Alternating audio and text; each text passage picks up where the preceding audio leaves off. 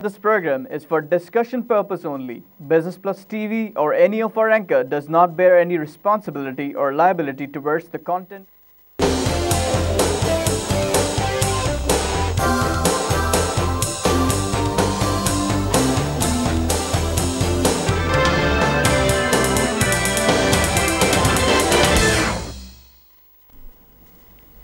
नाजरीन welcome to the market show मैं हूँ अली नासिर। जिस मौजू के ऊपर नाजरीन, आज हम गुफ्तु करना चाहेंगे, वो होगा पाकिस्तान की मीशत, महँगाई और प्रॉपर्टी या जायदाद के ऊपर लगने वाले नए टैक्स का निज़ाम के ऊपर, उसके क्या असरात मुरतब होंगे?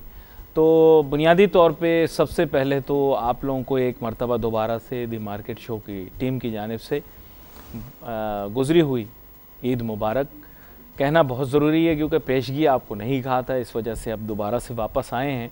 काफ़ी लंब गैप के बाद तो तमाम मार्केट शो के देखने वालों को, पसंद करने वालों को, फैंस को और बिज़नेस प्लस के नाजरीन को ख़ास तौर पे बहुत बहुत ईद मुबारक बासी।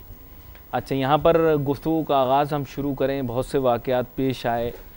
पूरी वर्ल्ड के अंदर आपको पता है कि ब्रेग्ज़िट के बाद पैदा होने वाली सूरत हाल के मुतालिक सुबह भी आपसे बात की थी। दोबारा से थोड़ी सी बात करें, पाकिस्तान की मीशत के ऊपर उसका फॉल आउट उसके बारे में बात करनी पड़ेगी। यूरो जोन के इम्पैक्ट जो हैं, पाकिस्तान की मीशत के ऊपर क्या हो सकते हैं? लेकिन इन आइसोलेशन क्या पाकिस्तान की मीशत के मुतालिक बात की जा सकती? है मसला ये पाकिस्तान के अपने बहुत से प्रॉब्लम्स हैं, जिनका हल हम अभी तक निकाल नहीं पा रहे।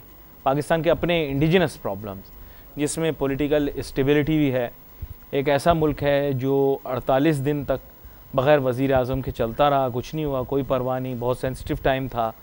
एक ऐसा मुल्क जिसकी लीडरशिप जो है, वो इतनी ज़्यादा कुछ सीरियसली कंसर्न नहीं लगती, जिसका बजट जो है, वो वाया स्काइप पास हो गया हो, वैसे हर चीज़ के बारे में एक आइनी बहस छिड़ जाती है। बड़ी शर्मिंदगी की बात है कि हमारे मुल्क के अंदर इस तरह के वाक़ पेश आते हैं। कि दुनिया की मीशत के लिए, दुनिया के एडमिनिस्ट्रेटिव पॉलिटिक्स के लिए एक मिसाल बन के रह जाती है। जिसे मैं कहूँ कि बैड गवर्नेंस की ये खूबसूरत मिसाल। और इसी वजह से शायद बहुत सारे लोग जो हैं वो कंफ्यूज रहते हैं पाकिस्तान की इकोनॉमिक डायरेक्शन के बारे में। सी पैक का चर्चा करने वालों से एक मुनफरद सा सवाल है मेरा। इस मुल्क की आप जानते हैं कि इस्टेब्लिशमेंट ने हर मुमकिन कोशिश की है कि सी पैक को कामयाब बनाया जाए। लेकिन अगेन कोई सेंट्रल डायरेक्शन गवर्नमेंट की तरफ़ से नहीं आ रही जो ये बता सके कि सी के मंसूबे में क्या क्या है। मुख्तसरा गेम चेंजर बन जाएगा, ये चेंजर बन जाएगा, वो चेंजर बन जाएगा। और जितने ये चेंजर हैं, दरअसल ये सिर्फ़ मनी चेंजर हैं। और इनके बारे में पढ़ता हूँ ख़ास तौर पे जो सी के गेम चेंजर कहने वाले हैं, ये सारे के सारे छुट्टियाँ मनाने के लिए लंदन, दुबई, अमेरिका, कनाडा रवाना हो चुके हैं। ये सारे वो हैं जो गेम चेंजर है सी पे गेम चेंजर है चाइना गेम चेंजर है। इनसे मैं पूछना चाहूँगा, अगर इतना बड़ा गेम चेंजर है तो आप लोग बीजिंग में होते, आप लोग शंघाई में होते, बच्चों को छुट्टियों के लिए वहाँ ले जाते गुआंगजू चले जाते, हैं? मुख्तलिफ़ चीन के इलाकों में चले जाते। गेम चेंजर है तो फिर आप अभी अमेरिका, कनाडा, बरतानिया यूएई में क्या कर रहे हैं? सी पैक तो गेम चेंजर है। तो मैं खैर, इससे कबल के मैं बहुत ज़्यादा जज्बाती हो जाऊँ। लेकिन पाकिस्तान की मीशत के बारे में बुनियादी सवाल यही है कि हम कन्फ्यूज़ लॉट हैं। हमारी कोई सेंस ऑफ़ डायरेक्शन नहीं है और इकोनॉमिक डायरेक्शन तो बिल्कुल ही नहीं है नील बटा नील बातें बड़ी बड़ी, अंदर से, जिसे आप कहते हैं रियलिटी खोखली, कुछ भी नहीं। डॉक्टर शाहिद हसन सिद्दीकी साहब हमें ज्वाइन करेंगे टेलीफोन लाइन के ज़रिए। वेलकम करूँगा इनको, जनाब शाहिद हसन सिद्दीकी साहब। आपसे सबसे पहला सब वालेकुम अस्सलाम सबसे पहले तो मैं आप सबको ईद मुबारक आपके जो नाजरीन है सबको और आपको भी। बिल्कुल बिल्कुल। आपको हमारी जानब से बिज़नेस प्लस की जानब से और नाजरीन की इजाज़त लेते हुए उन मुझे ख्याल से भरपूर ईद मुबारक आपको भी कहता हूँ। खैर मुबारक कहता हूँ। आपका बहुत शुक्रिया आपने वक्त दिया आज पहला दिन ईद के बाद का ईद की छुट्टियों के बाद का। तो आपके साथ बात करूँ सबसे पहली चीज़ जो मेरे जहन में है डॉक्टर साहब मैं आपसे पूछना चाहूँगा वो मसला कुछ ऐसे है कि कोई प्रॉपर्टी के ऊपर गालिबा कोई टैक्स लगा दिया। अब लोगों ने मुझसे पूछा, मैंने कहा, चलो, मैं डॉक्टर शाहिद हसन सिद्दीकी से पूछकर बता दूँगा कि आखिर इसके पीछे क्या अवामिल हैं, इसका क्या सिस्टम होगा और आप बहुत दफ़ा इसके बारे में बात कर चुके हैं। मुझे बताएँ कि क्या ये law in letter and spirit follow किया जा सकेगा? देखिए, बात ये है कि ये जो पुरस्कार तरीका अपनाया है जी। इसमें जो आ, मैंने आपकी बातें सुनी है उसमें मुझे पता है कि आप भी इससे पूरी तरह वाकिफ हैं। खेल ये है जो मैं समझा हूँ कि हुकूमत ये कह रही है कि अगर आप जो है वो जुर्म को पहले करने दें जुर्म को हम्म। रोकने की कोशिश कतई नहीं करें हम्म। और जब जुर्म सलजद हो जाए हम्म। तो कुछ अरसे के बाद उसको पकड़े कि जी ये तो आपने गलत काम किया है। जी जी। इसलिए कि वो ये कह रहे हैं कि आप डीसी रेट हमारा जो सूबों का रेट होता है वो बहुत कम है। यानी अगर एक प्रॉपर्टी दस करोड़ की है तो वो सत्तर या अस्सी लाख में वो हो रही है। ठीक है। इसका सही तरीका तो ये था अठारहवीं अमेंडमेंट के बाद कि आप सूबों के साथ ये बात करते कि। जनाब आप डीसी रेट को आ, आप जो मार्केट का रेट है उसके मुताबिक लेकर आए। जी। और शायद ये भी कानून साजी करते कि अगर कोई आदमी कम कीमत पर बेचने के लिए अखबार में ऐड देता है जी। तो कोई भी आदमी अगर जम करता है कि जी मैं 20 फ़ीसद देने के लिए नकद देने के लिए तैयार हूँ तो वो प्रॉपर्टी उसको मिल जाएगी। तो ये मसला हल हो जाता। लेकिन मसला शायद ये था कि जैसे आपने दो तीन अल्फाज अच्छे इस्तेमाल किए हैं मैं समझ गया। कि ये न सिर्फ़ ये कि नाकाबिल अमल है बल्कि इंसाफ और कानून के तकाजों से हम आंग नहीं है। करप्शन का एक बहुत बड़ा फ्लड गेट जो है वो खुलेगा और ये निज़ाम जो है वो पूरा का पूरा नाकाम हो जाएगा। उसकी वजह ये कि प्रॉपर्टी तो मैंने खरीद ली। हम्म। जो है प्रॉपर्टी मेरे नाम ट्रांसफ़र भी हो गई। जी जी। मेरा ब्लैक मनी भी जो है उसको सेफ़ हेवन मिल गया। हम्म। जिसकी प्रॉपर्टी जिसने बेची थी उसको भी पैसे मिल गए सब खत्म हो गया। बाद में आप कह रहे हैं जनाब ये गलत हुआ। तो सूबे सूबे ने तो उसको एक्सेप्ट अच्छा, कर लिया है। अच्छा डॉक्टर साहब यहाँ पर एक चीज़ आपसे दरवाज़ा है कि वो जो वैल्यूएटर्स मुकर होंगे माजी में मैं आपको याद दिलाऊँगी जस्टिस जमशेद की रिपोर्ट मेरे पास है जिनको सुप्रीम कोर्ट ने अपॉइंट किया था कर्जों की माफ़ी का। जी जी। और वो सुप्रीम कोर्ट के जज रह चुके हैं ये। तो उन्होंने ये कहा था कि वैल्यूएटर्स ने खूब तमाशा किया और प्रॉपर्टी की वैल्यू कम करा दिखाकर हम्म। और जो है वो अपने कर्जे माफ़ करा दिए और वो अहमसाना हद तक कम थे और वो स्कीमें जो वैल्यूएटर्स ने बनाई थी वो टेलर की गई थी हसब मंशा डिफॉल्टर्स के बैंकों के नादहिंगान के हम्म। तो क्या हमारे हुकूमत ने वो रिपोर्ट नहीं पढ़ी हुई है हम्म। क्या वो उस रिपोर्ट से मुतफिक नहीं है क्या वो गलत कार्य जो हुई थी कि एक प्रॉपर्टी मिसाल के तौर पर सत्तर लाख की दिखाई और हम्म। दो करोड़ का लोन था बाकी माफ़ करा दिया हम्म। उसी प्रॉपर्टी को अगले दिन किसी तीसरे वैल्यूएशन से चार करोड़ का दिखा के नया कर्जा लिया हम्म। कुछ कर्जा एडजस्ट किया बाकी जेब में रख लिया। तो ये सब जब चीज़ें मौजूद थी तो ये तरीकाकार क्यों अपनाया आदि नासिर साहब? मैं तो समझता हूँ कि हमें सवाल ये पूछना है कि आपने सूबों से क्यों नहीं कहा कि जी आप अपना डीसी रेट कराएँ आप उसे काउंसिल ऑफ़ कॉमन इंटरेस्ट में बात करते वैसे बात करते और पंजाब से शुरू करा देते वहाँ तो आपके भाईजान बैठे हुए ना। तो ये करने के बजाय ये करप्शन का दरवाज़ा खोला है एफ़ में भी करप्शन होगा ये जो इवेल्युएटर्स हैं अप्रूव सो कॉल्ड यहाँ भी करप्शन होगा। और एक ट्रांजेक्शन होने के बाद आप गड़ा मर्दा उखाड़ेंगे तो मैं तो इसको करप्शन का दरवाज़ा और नाकाबिल अमल समझता हूँ। नहीं, यहाँ पर डॉक्टर साहब, मैं आपसे एक और सवाल पूछना चाहता हूँ, एक और जाविये से। लेट से आपको पता होगा कि चंद साल पहले प्रॉपर्टीज़ की रीवैल्यूएशन हुई थी और मेरे ख्याल से सुबह, सूबाई सतह के ऊपर भी, हमारे सूबे के अंदर भी जो मुख्तलिफ़ कैटेगरियाँ होती हैं ज़मीन की, उनके अंदर कीमतों में इजाफा किया था। मतलब वो जो सेल प्राइस आप समझ लें या प्रॉपर्टी प्राइस। अब इशू ये है कि 2010 में वही एक मैं बात कर रहा हूँ वही 500 गज का घर जो कि यहाँ पर एक हाउसिंग सोसाइटी सबसे ज़्यादा जो चलती है जिसमें प्लाट सर्कुलेट होते हैं डेढ़ करोड़ रुपए का एक घर मिल रहा था। ठीक है जी? अब वही 2010 के बाद अब 2014, 15, 16 में वही डेढ़ करोड़ का घर साढ़े सात करोड़ रुपए का हो गया है। तो जिन लोगों ने खरीदा है वो कहते हैं साहब हम किस बात की सजा भुगते हैं हम तो प्रॉफिट बुक करेंगे हमारे प्रॉफिट बुक करने में क्या एतराज़ है नहीं ये तो बात सही है एतराज़ हमें ये है कि मिसाल के तौर पर जिस आदमी ने दस करोड़ अब दस करोड़ का खरीद रहा है हाँ। या पाँच करोड़ का खरीद रहा है हम्म। उसकी रजिस्ट्रेशन जब एक करोड़ में हो रही है हम्म। तो चार करोड़ का जो ब्लैक मनी जनरेट हो रहा है जी, और उसके पास जो ये ब्लैक मनी आ रहा है वो भी तो देखिए ना जिस आदमी का मालिक है उससे हम ये पूछना चाहते हैं कि आपने पाँच करोड़ की प्रॉपर्टी बेची एक करोड़ का एग्रीमेंट किया। तो ये जो चार करोड़ रुपए आपके पास काला धन आ गया वो आप डिक्लेयर तो नहीं कर सकते। तो उसको गदगाड़ी पे रख के कहाँ लिए लिए फिरेंगे? पहले तो आप उसको जवाब दीजिए। फिर आप अपनी इनकम टैक्स रिटर्न जाली भेजेंगे जो। उस पैसे को हुंडी के ज़रिए बाहर भेजेंगे। तो वो खुद भी तो गुनाह में मुलविस हो गया हालाँकि उसका कोई कसूर नहीं है। अच्छा यहाँ पर ये तो ये मैं जो आपने सवाल अली नासिर साहब किया है जी जी। तो कसूर उसका भी है कि वो काले धन को छुपा रहा है। ये गलत एग्रीमेंट साइन कर रहा है दो एग्रीमेंट साइन कर रहा है एक वो जो असल है और एक वो जो उसको ब्लैक का पैसा मुख्तलिफ़ नामों से मिलेगा। आपको पता है कि मैंने तमाशा देखा है कि बैंक वाले जो है उनको कहा है सबने कि नौ दस लाख से कम के पे ऑर्डर बनाओ।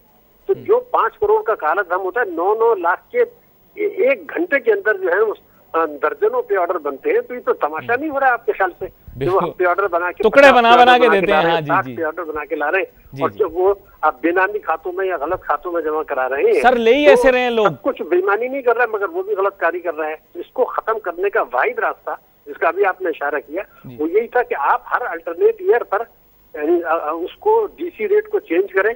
जो डीएचए में है उनको भी चेंज करें यहाँ का आपने इशारा किया और हर साल मार्केट रेट के मुताबिक उसको रिवाइज करें हम्म। और उसके मुताबिक एग्रीमेंट कर ले मसला खत्म हो गया। सर लोगों ने बात की है ना बड़ा सर सजेशन मेरे ख्याल से अचंबे की बात कहे हम्म। या जानते बुझते किया है ये एक सवाल निशान तो है सर सर गुजारिश सुने ना रियल एस्टेट वालों की गुजारिश सुने आप। या आप ऐसे समझ लें कि तजवीज़ मेरे ज़रिए आ रही है लेकिन सोच इसके पीछे बहुत सारे लोगों की है। वो ये है कि वो कहते हैं कि स्टेट लाइन के ऊपर आप ईयरली अप्रिसिएशन रेट फिक्स कर दें। और हर साल किसी के पास जाए बगैर एफबीआर वाले के पास जाए बगैर रजिस्ट्रार के दरवाजे खटखटाए बगैर प्रोविंशियल किसी बॉडी से रबता किए बगैर ऑटोमेटिकली हर साल एक फिक्स परसेंटेज जो कि उनका कहना ये है कि स्टेट बैंक के डिस्काउंट रेट के साथ इक्वल कर दें। स्ट्रेट लाइन बेसिस के ऊपर सालाना बुनियादों पर प्रॉपर्टी की वैल्यू खुद ब खुद बढ़ती रहे।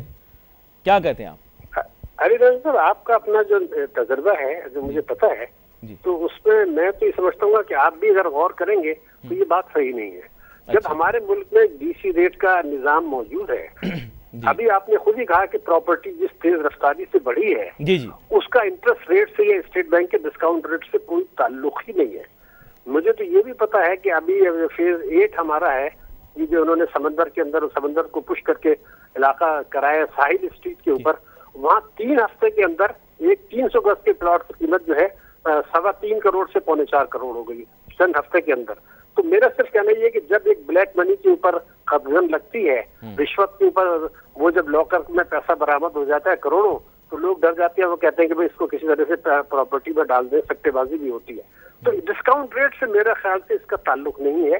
इसका ताल्लुक होना ही चाहिए कि आप एक वैल्यूशन ईयरली जो है वो फिक्स हो हम्म। और जैसे मैंने आपसे अर्ज़ किया था कि इस पर गौर हो कि जब वो कोई आदमी एड दे और वो ये कहे कि मैं ये प्रॉपर्टी दस करोड़ की बेच रहा हूँ हम्म। तो किसी को भी इख्तियार हो कि बीस परसेंट ज़्यादा दे के उसको ले ले हम्म। तो फिर वो तो फिर ये चेक इसके ऊपर इम्पोज हो जाएगा सर फिर वो कहते हैं इसका मौजूद है कि हुकूमत इंटरवीन कर सकती है तो मैं तो ये समझता हूँ कि जो प्रॉपर्टी वाले हैं अब वो ये सोच रहे हैं कि आइंदा रजिस्ट्रेशन कराए ना पावर अटॉर्नी ले ले और एग्रीमेंट टू सेल कर ले और दोनों डॉक्यूमेंट जो है वो उसकी प्रॉपर्टी हो जाएँगे। और बैंक से उसके अगेंस्ट चूँकि इंटरेस्ट रेट लो है तो कर्जा ले ले और कर्जा लेके प्रॉपर्टी बेचने के बजाय इस तरीके से काम शुरू करें।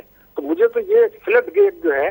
गलत कार्यों का होता नज़र आ रहा है और इसको हाँ। रोकने की ज़रूरत है मेरे ख्याल से। सर लीगल लकूना तो अपनी जगह है, लेकिन अब आप जानते हैं कि बहुत सारी कंपल्शंस क्रिएट हो चुकी हैं। लोग पाकिस्तान में नहीं जानते, लेकिन POA power of attorney irrevocable भी ले ली जाए तो death finishes everything that means कि जिससे आपने ख़रीदा है खुदा ना खास्ता, अगर टेन परसेंट या सिक्स परसेंट या फाइव परसेंट भी ये चांस हो कि वो शख्स नहीं रहेगा तो फिर पावर ऑफ़ टॉनी जो है वो वर्चुअली मेरा ऐसा ख्याल है। अंडरस्टैंडिंग है कि वो वापस उसके पास चली जाएगी, उसके एयर्स के पास और उसके जो सक्सेसर्स होंगे। और दूसरी जो कॉम्प्लिकेशन जो पहले जो आप जैसे बता रहे थे कि एग्रीमेंट एग्जीक्यूशन का, मेरे ख्याल अब वो काफ़ी हद तक ख़त्म हो गया क्योंकि इफ़ मेरा ऐसा ख्याल है, जो जो कानून को मैं समझता हूँ वो ये है कि even if you have to execute the agreement both buyer and seller need to be in front of the मतलब वो बड़ा कॉम्प्लिकेटेड लीगल इशू बन जाता है, अगर एग्रीमेंट एग्जीक्यूट हो गया हो, लेकिन लीज वो मतलब लीज एक्चुअली ना हुई हो। तो आप सही कह रहे हैं लेकिन मेरा अपना ख्याल ये था कि एग्रीमेंट फॉर सेल जब मौजूद है जी जी। और उसके साथ पावर अटॉर्नी भी मौजूद है जो कि इरिवोकेबल है और रजिस्टर्ड है। जी जी। तो डॉक्यूमेंट्स कंबाइंड टुगेदर जी। अमाउंट टू दैट मेरे ख्याल से अगर दोनों डॉक्यूमेंट साथ हैं if the person is alive legal का मसला पैदा नहीं होगा क्योंकि फिर तो वो इरिवोकेबल पावर अटॉर्नी है और उसमें ये भी लिखा होता है कि जो सक्सेसर्स हैं और हेयर्स हैं वो भी इसके लिए बाइंडिंग होंगे उसके अंदर ये क्लॉज होती है। हाँ ये भी बड़ा इंटरेस्टिंग मेरे पास इस वक्त हाथ में वो है पाकिस्तान तहरीक इंसाफ का इंतबी मंशूर।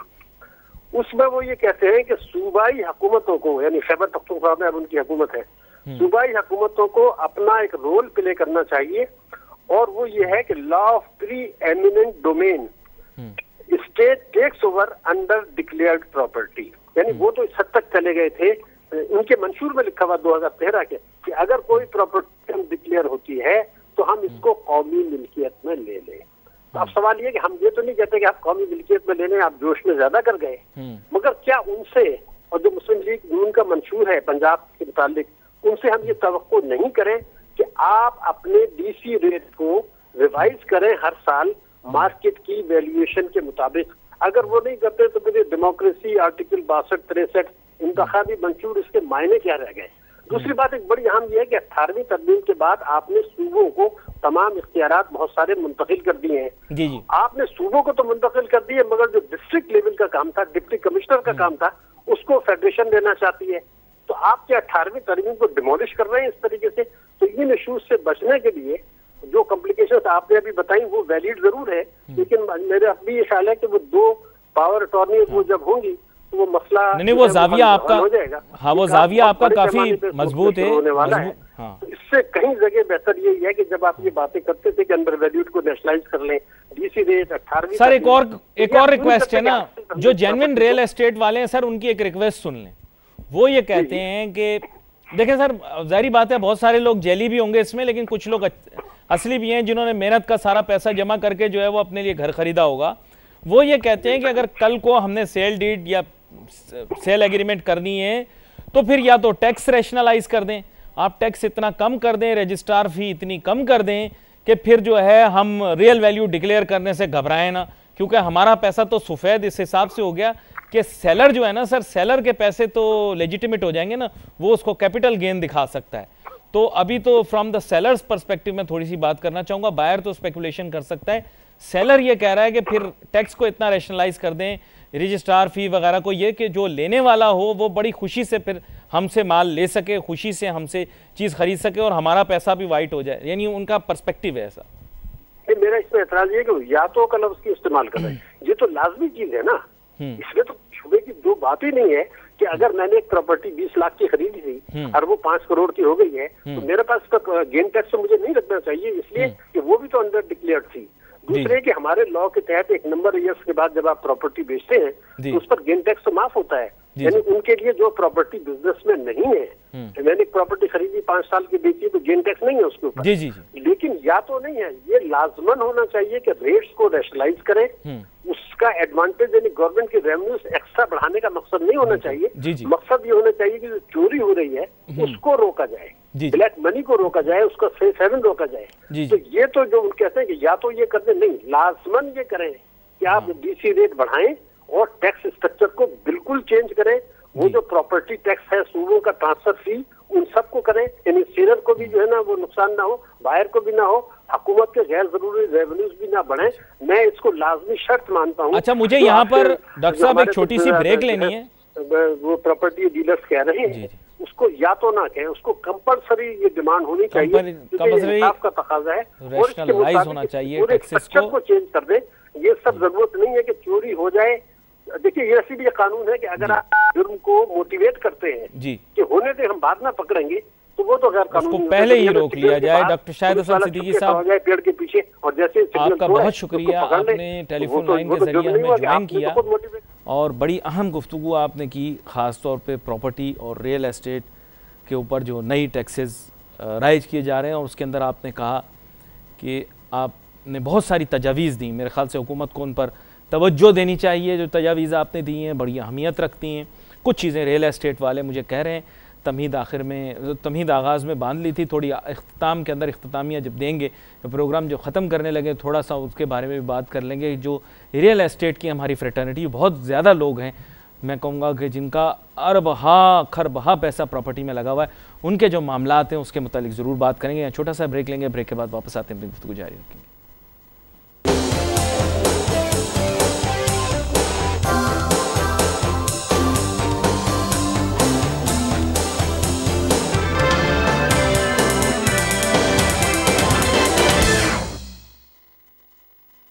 नाजरीन welcome back after the break गुफ्तु हमारी जारी है, बात हम कर रहे हैं और यही बात कर रहे थे पाकिस्तान की मीशत के बारे में कि पाकिस्तान के हालात किस समत में जा रहे हैं। प्रॉपर्टी के बारे में बात हो रही थी ब्रेक पे जाने से पहले डॉक्टर शाहिद हसन सिद्दीकी साहब के साथ कि प्रॉपर्टी और रियल एस्टेट के लिए कवानीन किस तरह के बनाए जा रहे हैं। स्पेकुलेशन भी रोकने की ज़रूरत है। एक और जाविया तस्वीर का ये भी है कि हमारे यहाँ प्रॉपर्टी की वैल्यू वो हो गई है जो अमेरिका तक में नहीं है, घरों में पानी नहीं है, बिजली नहीं है गैस नहीं है। शर्म की बात यह है कि इतने साल हो गए पाकिस्तान को आज़ाद हुए, दो कतरा पानी गिरने पर कराची शहर के अंदर हर बात पर पूरा सिस्टम ब्रेक डाउन हो जाता है और बातें की जाती हैं करोड़ों रुपए की प्रॉपर्टीज़ की। मेरे ख्याल इसमें मैं और मज़ीद कुछ नहीं कहना चाहूँगा। अमेरिका बरतानिया के बराबर प्रॉपर्टी के रेट्स रखने वाले हम लोग सबसे पहले अपने गिरबान में झांकें और ये देखें कि क्या प्रॉपर्टी वैल्यूज़ हमारे यहाँ रियलिस्टिक भी हैं या नहीं। ये सिर्फ़ स्पेकुलेशन के ऊपर हैं, यहाँ अंदर की दो बातें हैं। तो साथ साथ क्योंकि कारोबार का मौजू होता है तो आपको बताता चलूँ। सबसे पहले कर प्रॉपर्टी स्पेकुलेशन के ऊपर किया गया था, लेकिन इंटरेस्ट इसके अंदर तमाम तबकात और तमाम इदारों के होते हैं पाकिस्तान में। Every organisation, every institution in this country has become involve in real estate trading which is very unfortunate और आप जानते हैं बस इतनी ही बात कर सकता हूँ इससे आगे ना मेरी औकात है ना हैसियत जस आप मेरा पैगाम समझ गए होंगे इसीलिए इसको रोका नहीं जाता। डॉक्टर अयूब महर साहब अब हमारे साथ टेलीफोन लाइन के ज़रिए हमें ज्वाइन करेंगे। इनके साथ में पाकिस्तान की मीशत ब्रेग्जिट और सी पैक के मामला के बारे में मुख्तसर गुफ्तु करूँगा। वेलकम करूँगा आपको डॉक्टर अयूब साहब। शुक्रिया बहुत शुक्रिया। वालेकुम। असलम आपको हमारी जानब से ईद मुबारक। और इसके इसके साथ ही मैं आपसे सवाल ये पूछना चाहूँगा यूब साहब बड़ा मुश्किल सवाल है। लेकिन ये कि पाकिस्तान की मीशत के मुतालिक हमने बहुत सारी अच्छी बातें सुनी, लेकिन मसला कुछ इस तरह का है कि मुल्क में बैड गवर्नेंस की नई नई मिसालें कायम की जाती हैं। इकनॉमिक्स जो है वो सेकेंडरी बात बन जाती है, लेकिन फिर भी मसला था, आपको पता होगा, बहुत तमाशा किया गया। एक साल इस पर लगाया गया कि सी पैक गेम चेंजर है, पाकिस्तान की तकदीर बदल जाएगी तकदीर ये हो जाएगी, पाकिस्तान की तकदीर उल्टी हो जाएगी। ना कि ये तवज्जो दी जाती कि तकदीर लिखने वाला और किस्मत लिखने वाला एक ही है। उसके ऊपर तवज्जो दी जाए, लेकिन हमारे मुल्क के अंदर तकदीर बदलने के लिए सीपैक की जानब देखा जा रहा था। अफसोस की बात ये कि सर, ऐलान के बाद ना बजट के अंदर कोई ख़ास चीज़ सीपैक के मुतालिक देखी और सिविलियन हुकूमत की नाहली भी देखी है और सिविल हुकूमत की अंत, गैर संजीदगा, गैर संजीदा अप्रोच भी देखें कि अभी तक हमें रूट भी नहीं पता, हमें एनर्जी कॉरिडोर का नहीं पता हमें रेलवेज़ में इन्वेस्टमेंट का नहीं पता और रोड इंफ्रास्ट्रक्चर में इन्वेस्टमेंट का नहीं पता। थोड़ा सा हमारे नाजरन को इस मुतालिक बताइएगा। सर नहीं देखिए मैं इसमें एक चीज़ क्लियर कर दूँ कि बजट में इसके लिए नहीं रखा जाना था। जी। बजट में सिर्फ़ इसका एक पार्ट है जो बजट से कवर होना था। जी जी। आ, जिसको रखा जाना चाहिए था। अदरवाइज़ ये था कि ये 46 बिलियन डॉलर का जो एस्टिमेट लगाया गया जी था जी। ये फॉरेन इन्वेस्टमेंट की फॉर्म में था। जी जी। इसमें बजट से नहीं आने थे बल्कि ये एफडीआई की शक्ल में आने थे। अच्छा ठीक अच्छा उसमें भी शुरू में एक मिसअंडरस्टैंडिंग ये थी कि शायद ये 46 बिलियन डॉलर चाइना लाएगा। जी जी। पहली चीज़ ये कि ये प्लानिंग कमीशन ने क्लियर कर दिया था ये चाइना से नहीं आएगी ये 46 बिलियन डॉलर जो है ये टोटल एफडीआई का साइज़ है। इसमें कोई भी मुल्क हो सकता है वो बॉन्ड की शक्ल में भी हो सकता है वो डायरेक्ट इन्वेस्टमेंट भी ला सकता है। जी। और दूसरी चीज़ ये कि ये फॉरेन एक्सचेंज की शक्ल में नहीं आएगा पैसा। ये इसका बहुत सारा पार्ट जो है वो इक्विपमेंट और मशीनरी के फॉर्म में आएगा। ठीक है। तो इस वजह से इसको फेडरल बजट में इसको 46 बिलियन डॉलर को नहीं रखा गया था लेकिन कुछ इसका पार्ट ऐसा था जी। जो गवर्नमेंट ने जिसको कैटर करना था जी। वो पार्ट सिर्फ़ जो है वो गवर्नमेंट को अपना हिस्सा शेयर करना था। जी। और उसके बाद उसका जो दूसरा पार्ट था कुछ हिस्सा वो प्रोवेंशियल गवर्नमेंट्स को भी इस पर कुछ शेयर करना था। जी जी। अच्छा प्रोवेंशियल गवर्नमेंट्स के जो बजट देख रहे हैं उसमें पंजाब और केपी के बजट में इसके लिए मुख्त किए गए हैं। बलूचिस्तान में भी मौजूद है। अच्छा। इन बजट में सीपैक से रिलेटेड कोई अमाउंट नहीं रखा गया। जी। उसकी बहुत सारी वजूहत हो सकती हैं। एक तो ये कि सीपैक का जो सिंध से रूट है जी। वो राजनपुर से आने के बाद रत्तो डेरो तक आता है। जी जी। और फिर वो बलूचिस्तान की तरफ़ टर्न कर जाता है। तो इसमें जो सिंध के मेन शहर हैं वो इसमें कवर नहीं हो रहे। लेकिन चाइनीज़ मीडिया ने डॉक्टर अयूब मेहर साहब अभी रिसेंटली जो है वो सीपैक का रूट दिखाया है। आपने भी शायद आपकी नज़र से भी गुजरा हो। वो बड़ा डायरेक्ट और स्ट्रेट रूट है। उसमें कोई कॉम्प्लिकेशन नहीं है और ना वो स्पाइडर्स वेब की तरह पूरे पाकिस्तान में फैला हुआ है। वो रूट बिल्कुल सीधा साधा सा है। गिलगित बल्तिस्तान या नदन एरिया से वो एंटर करता है पाकिस्तान में। केपी और बलूचिस्तान के फ्रिंजिस से गुजरता हुआ बरह रास्त गवादर की ओर जाकर टच कर देता है। उस रूट ने ना दाएँ जा रहा है ना बाएँ जा रहा है। मुझे वो तकरीबन निस्बतन सीधी लकीर दिखाए। या शॉर्टेस्ट पॉइंट जैसे हम मैथमेटिक या ज्योमेट्रिक लैंग्वेज में कहते हैं। बिल्कुल क्लियर कर दूँ इनिशियल रूट बिल्कुल इसी तरह से था। इसमें हम्म। जो जो दो प्रॉब्लम्स आ रही थी जिसको डिस्कस किया गया। ये ये वो मैप है अच्छा मैं आपको ये चीज़ भी क्लियर कर दूँ कि ये सिर्फ़ चाइनीज़ मीडिया की बात नहीं जो गवर्नमेंट ऑफ़ बलोचिस्तान के जो ऑफिशियल डॉक्यूमेंट्स हैं उसमें भी यही मैप मौजूद है। अच्छा। प्रोविंशियल गवर्नमेंट के। अच्छा अच्छा। इसमें इसमें इसमें मसला ये है ये गिलगित बल्तिस्तान से एबटाबाद तक तो किसी को इस पे डाउट नहीं है वहाँ तक तो सही है। ठीक है। उसके बाद जो ये जिस रूट को आप रेफर कर रहे हैं ये एबटाबाद से डेरा इस्माइल खान से हम्म। वजीरिस्तान एजेंसी के साथ साथ चलता हुआ। जी जी। जो आता है और कोयटा और कोयटा से ये चला जाता है गवादर। जी। ये शॉर्टेस्ट है इसमें कोई शक नहीं। जी जी। इसमें प्रॉब्लम जो चाइनीज़ को भी थी और हमने भी इस चीज़ को पॉइंट आउट किया था ये सिर्फ़ ऐसा नहीं कि इस पे सिर्फ़ चाइना की ट्रैफ़िक रवा दवा रहेगी और जी जी। जो चीज़ आएगी गवादर वो डायरेक्ट चाइना चली जाए और कोई एक्टिविटी नहीं होगी। डिसाइडेड ये था कि ये अगर हम चाह रहे हैं गेम चेंजर हो तो इस पे इकोनॉमिक एक्टिविटीज़ भी होनी चाहिए। जी। और इकोनॉमिक एक्टिविटीज़ के लिए ज़रूरी था कि इसके एडजस्टमेंट जो था इसके इर्द गिर्द वो इकोनॉमिक जोन बनाए जाएँगे। जी जी। अच्छा उस पर आइडेंटिफाई किया गया कि 22 एरियाज़ आइडेंटिफाई किए गए पाकिस्तान में। जी जी। जहाँ इंडस्ट्रियल सिटीज़ बनेंगी जहाँ इंडस्ट्रीज़ लगेंगी। जी। इस रूट के इर्द गिर्द साथ साथ लगेंगे। जी जी। तो जब ये रूट गुजरेगा तो फिजिबिलिटी ये नहीं होती कि आप जंगल से गुजरते चले जाएँ। जी जी। फिजिबिलिटी यह है कि इस पे बड़े शहर भी आने चाहिए जहाँ रोज़मर्रा की जरूरियात की चीज़ें मिले इस पर पंपिंग स्टेशन भी होने चाहिए। इसके गिर्द आबादी भी होनी चाहिए। जी। एक ये रूट था एक इसके साथ ही एक सप्लीमेंट्री सेकेंड रूट है दोनों रूट का फिर डिसाइड किया गया कि कंस्ट्रक्ट किए जाएँगे। जो दूसरा रूट है वो एबटाबाद से इस्लामाबाद मार्गला वाले रास्ते से और इस्लामाबाद से फिर लाहौर लाहौर से मुल्तान मुल्तान से डेरा गाजी खान राजनपुर रतोडेरो और फिर यहाँ से रतोडेरो से वो जो है गवादर चला जाएगा बलोचिस्तान में इंटर होके। तो ये दोनों रूट होंगे इन दोनों के गिर्द इकोनॉमिक जोन बनेंगे। और ये जो सेकंड रूट है ये क्योंकि पॉपुलेटेड एरिया से गुजरेगा तो इस पे ये है कि ट्रैफ़िक ज़्यादा होने की वजह से इस पे फिजिबिलिटी ये थी कि इस पे आपको रिकवरी जो होगी ना क्योंकि टूल टैक्सेस वगैरह इस पे लगेंगे जो भी ट्रैफ़िक गुजरेगी। तो ज़्यादा ट्रैफ़िक की वजह से इस पर आपकी रिकवरी के चांसेस ज़्यादा होंगे। डॉक्टर इकबाल साहब मेरे जहन में एक सवाल है क्योंकि प्रोजेक्ट मैनेजमेंट का जो शोबा है, ये बड़ा यूनिक होता है। इंटरनेशनल जब प्रोजेक्ट सी के साइज़ का लगाया जाता है तो इनिशियली प्लानिंग का फ़ेज़ होता है। चीन ने वन बेल्ट वन रोड के नाम से ये प्रोजेक्ट शुरू किया है। सी पाकिस्तान ने अपनी तरफ़ से नाम रख लिया है, वो हिस्से का, जो हिस्सा पाकिस्तान से गुजरेगा। लेकिन मसला ये है कि रिसोर्सेज जो एफटीआई की आपने बात की, मेरे मुल्क के अंदर एफडीआई उस हिसाब से नहीं आया।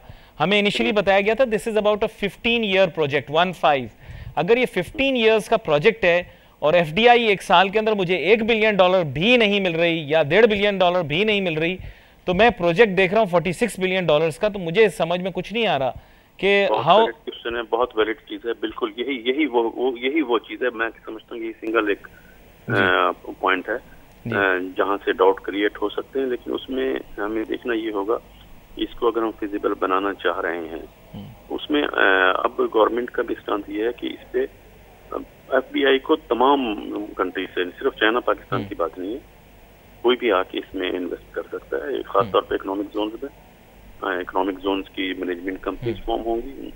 उसमें एफपीसीसीआई जो है वो मैनेजमेंट कंपनीज़ में वी आर इक्वल पार्टिसिपेशन है हमारी पार्ट है। उसमें उसमें एफ़ आएगी और वो फिर सिर्फ़ चाइना से नहीं चाइना से पहले हमें दूसरी जो डेवलप कंट्रीज़ हैं जो रिलिक्वेट हम्म। कर रही हैं अपनी इन्वेस्टमेंट को उनको भी अट्रैक्ट करना होगा एफ़ हम्म। का फ्लो जिस दिन शुरू हो जाएगा तब आप कह सकते हैं कि इसकी फिजिबिलिटी जो है वो सक्सेस की तरफ़ जा रही है अच्छा डॉक्टर यूमेर साहब मैं आपको एक वर्जन बताता हूँ जो मैंने सुना है और मैं उससे काफ़ी हद तक इतफाक करता हूँ वो पाकिस्तान के बहुत ज़्यादा इंटरेस्ट में है लेकिन उसका ताल्लुक बिल्कुल इकोनॉमिक नहीं है वो इंटरनेशनल जियो स्ट्रेटिजिक इन्वायरमेंट में उसमें पाकिस्तान का स्टैंड बहुत बेहतर हो जाएगा और ख़ासतौर पे इसी वजह से इस्टेब्लिशमेंट उसको सपोर्ट भी कर रही है। नंबर वन ये कि गिलगित बल्तिस्तान और नदन एरियाज़ जो है, ये एक ट्राई पैट्रियट डिस्प्यूट है, जिसका मतलब पाकिस्तान, चाइना और इंडिया के दरमियान ये डिस्प्यूट है। हमारे यहाँ मुल्क के अंदर इस पर डिस्कशन नहीं की जाती तो कश्मीर को भी नॉर्दर्न एरियाज़ के साथ मिलाया जाता है। तो ये रूट बेसिकली क्या करेगा? ट्राईपैट्रिएट डिस्प्यूट के अंदर दो पार्टनर्स यानी पाकिस्तान और चाइना को कंसोलिडेट करने की पोजीशन में ले आएगा। दूसरा ये कि बलूचिस्तान बहुत ज़्यादा डिस्टर्ब्ड है और हमारे मुल्क के अंदर एक एडवांटेज हो ये एक प्रॉब्लम ये आ रही थी सॉरी जो कंफ्यूजन क्रिएट हो रही थी वो ये थी कि बलूचिस्तान का जो फ्यूडल सिस्टम है वो रोड्स नेटवर्क बिल्ड नहीं करने दे रहा था। तो अब एडवांटेज ये कि सीपेक के नाम पर हमने अपनी रोड पूरी बना भी ली है और काफ़ी हद तक कामयाबी से बना ली है। तो मेरे ख्याल इसका इकोनॉमिक तो कोई एस्पेक्ट नहीं है। स्ट्रेटेजिकली पाकिस्तान जो है वो अपने आप को रिपोजिशन कर चुका है और जियो स्ट्रेटेजिकली जो है अब एक बहुत बेहतर पोजिशन में आ गया है जहाँ तक इंटरनेशनल या आप ऐसे समझ लें कि जो इंटरनल डिस्प्यूट्स